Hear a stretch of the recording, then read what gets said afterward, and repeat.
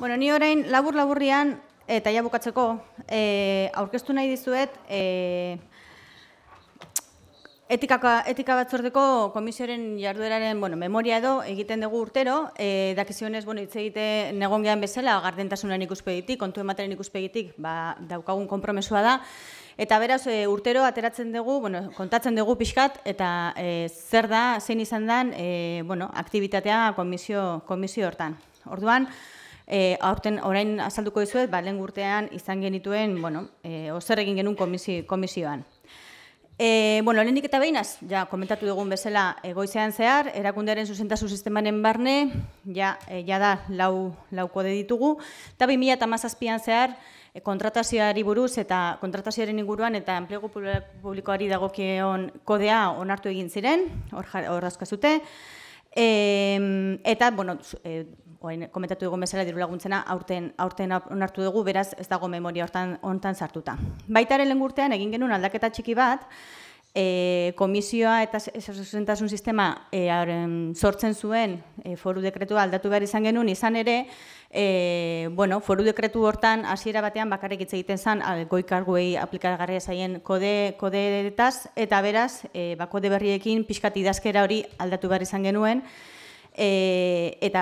alde hortatik horregatik aldatu genuen, eta baita ere, lehen esan dugun bezala, asko, bueno, aipatu dugun bezala kodeak dira zerbait bizia, eta beraz, e,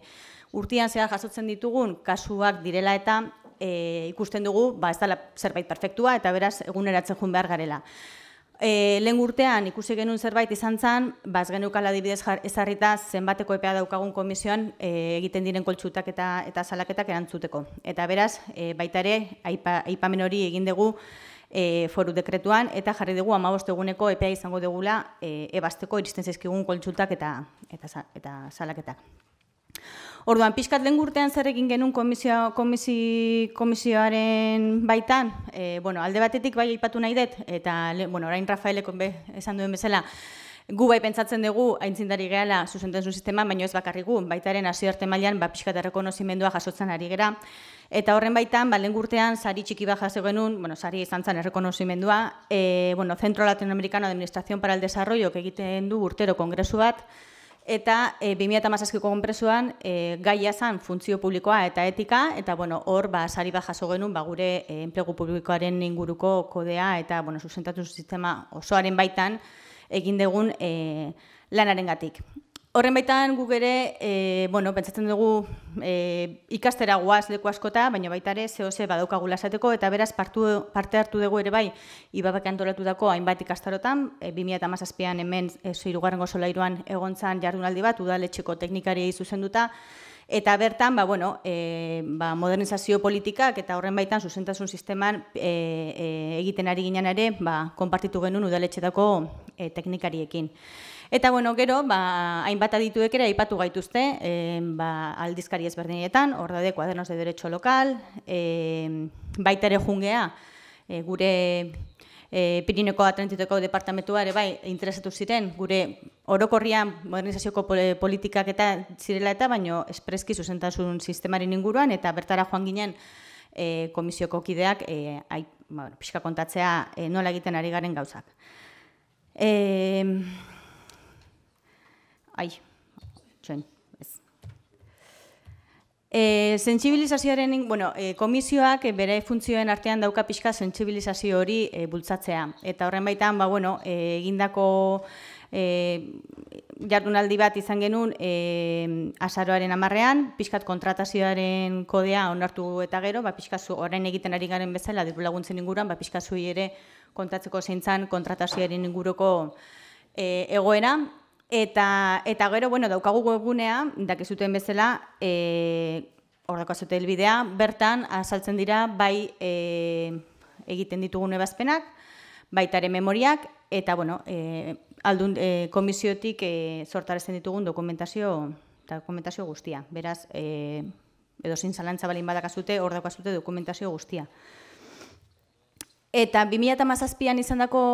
bueno, jardueraren inguruan, e, zei, ebaz, zei kontsulta jaso genitun, zan behar dut 2008an jarri zala e, martxan komisioa, 2008an zei jaso genitun, 2008an zei jaso genitun, Eta urten jada behatzi goaz, beraz badirudi, bueno, e, gero eta kezka gehiago dagola kodeen hauen inguruan. Eta, eta baina, bueno, e, 2008 kontatu behar dizuet, eta bueno, hauek ziren jaso genitu nebazpenak. E, esan bezala, ebazpenak, e, evidentemente, mm, iz, datu pertsonali gabe webgunean dauden, beraz, irakurri ditzazkezue guztiak, baina, bueno, laburrian zerri buruz joazten, ba, men dauzkazute. Lehenengoa, ba, izan da bat, e, 2008an ere bai antzeko kontsulta ba jaso genuen, ba, eta da, hain zuzen ere, ba, ba, goi kargu dun baten eskontideak e, administrazio publikoarekin izan dezaken erlazioa dela eta, bai? E, bigarrengo kasuan, e, zan e, goikargudun bat ere bai, ba, bere jarduera profesionala pribatua e, ea bateragarria zen bere kargu publikoarekin. E, ez dizute, bueno, esan dezaketu zintzen erantzuna, baina oske, kasuz kasu e, aztertu behar da, bai? kasu batean izan daiteke baietz, e, kasu hontan etzan bateragarria, baina beste kasu batean izan daiteke. Beraz, e, animatzen zaituztet ikusi nahi badituzue zeintzuk izan diren argudioak irakurtzera bazpenak. Hirugarrengo hirugarrengo asuntua eh e, enplegatu publiko batek e, planteatu zuen eta momentu hortan oraindik ez zegoen onartuta enplegu publikoaren kodea eta beraz esan behar esan genion ezin genula ebatzi izan ere berari e, bueno etzala gure ez egokiela kode hori eta beraz ezin genuen ebatzi. Baino ba handik hilabete batea edo onartu genuen kodea eta berriro galdera berdina egin zuen. Kasu hontan esan bezala funtzionero bat zen Eta, e, bueno, bere dudazan, ba, bere, bere eguneroko lanian, mm, pentsatzezun detektatu izan zuela, ba, autonomo falso bat, eta arduan bere keskazan ea obligazioa edo etikaren ikuspuntutik e, konpartitu zezaken informazio hori, pues, kasu honetan, lanbiderekin edo okion saiarekin. E, bosgarrengo asuntua goikargudun baten galdera izan zen ere bai, eta kasu honetan zen elkarte pribatu bate gonbitea egin ziola e, berekide izateko, eta bueno, batera garritasun horren inguruan galdetzen zuen, eta zigarrengo kasua, e, kasu honetan e, e, funtzionario batek egindakoa, e, gabonetan e, jaso zuen obari bat, eta bueno, horren inguruan zein destino, eman bertzion oparri horren inguruan e, izan zen. Ezan bezala, e, kasuz kasu joan behar gara, ah, bueno, horrengoan jartzen dizu, kasuz kasu joan behar gara e, aztertzen guztia, e, Rafaelek ere aipatzen duen bezala guztiontatik ikasten dugu eta beraz urte bukaeran memoriarekin batera ateratzen dugu ezarpen gida bat, hau da, zer ikusi dugu ez dula funtzionatu edo zer ez dagoen argi e, kodeetan eta, eta sisteman eta beraz hobetzen joan behar gara. E, horregatik, oparien inguruan, e, ba, bueno, e, egontza, euki genuen komiseren barruan, pues, ez da bai da, zer egin, zer ez egin, eta ikusi genuen, ezin genula, e, sisteman jartzen du, e, gida aplikatiboetan jarriko dela zeintzuk onartzen diren eta zeintzuk ez. Baina, egin genuen hausnarketa izan zen, ezin degula esan, e, beste, beste